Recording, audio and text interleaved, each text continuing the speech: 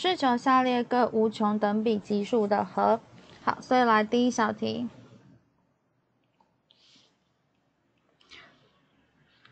，n 从一到新，n 从一到无穷，然后呢就是二分之一括号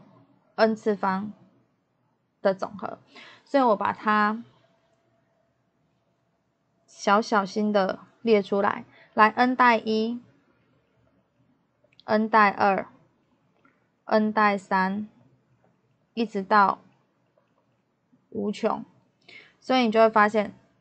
我就可以带无穷等比级数的公式，一减公比分之首项，所以很开心的，我们的和就是等于一。好，那第二小题啊，它已经列出来了，我只要找到公比，